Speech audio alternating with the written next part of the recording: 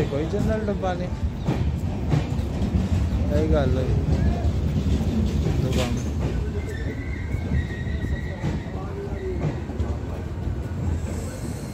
ਯਾਰ ਬੜੀ ਮੁਸੀਬਤ ਹੋਈ ਗਈ